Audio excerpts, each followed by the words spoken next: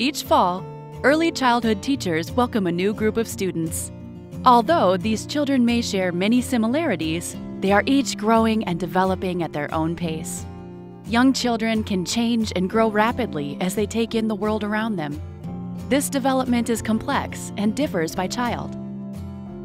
Formative assessment is an effective way for teachers to learn about each child's skills and abilities. The results can help teachers plan and individualize instruction to support the growth and development of every child.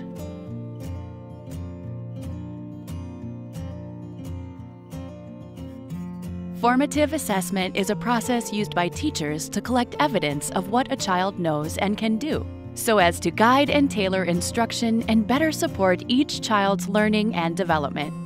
These assessments provide information at the start of school and throughout the year as children develop knowledge and skills. Formative assessments often take place during the regular course of instruction and in authentic settings.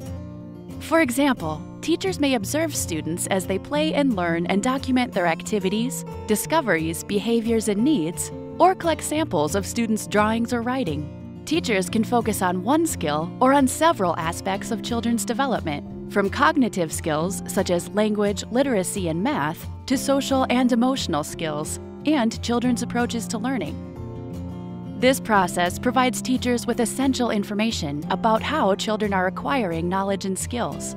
Teachers then reflect on the evidence and use it to plan and individualize instruction and curricula to children's learning processes, check students' understanding and gains, pinpoint and target learning gaps, and identify students who may need extra support or further testing.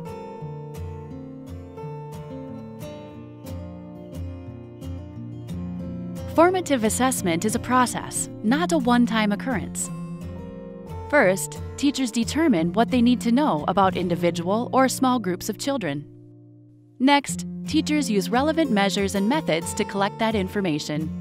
For example, teachers can observe and document children's activities, conversations, and behaviors in whole group, small group, and individual lessons using anecdotal notes or records.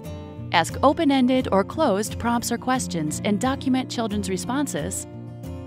Use checklists, surveys, and standardized assessments. Collect writing and drawing samples.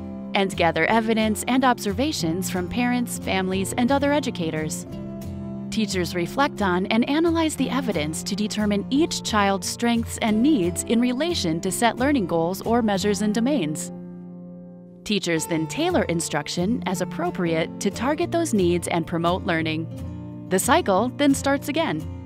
Research shows that high quality formative assessment improves student outcomes, particularly for struggling students, English learner students, and students with disabilities. High quality formative assessment includes several best practices.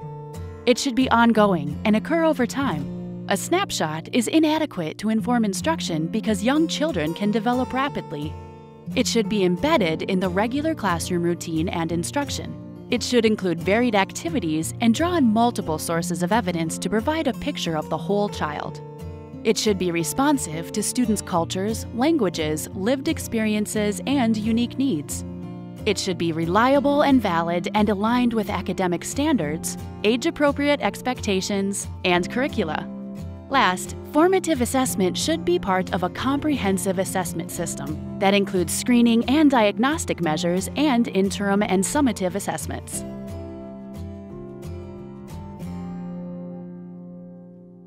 Formative assessments can provide a wealth of information, not just for teachers, but for families and administrators. Over time, the information from formative assessments can provide a rich record of a child's progress and growth. Information about a child's strengths and areas for growth can be shared during parent conferences. Teachers can also share ideas for activities that parents can do at home to support their child's learning and development. School and district administrators can use long-term formative assessment data at the classroom or school level to align student needs with educator professional development and early learning programs.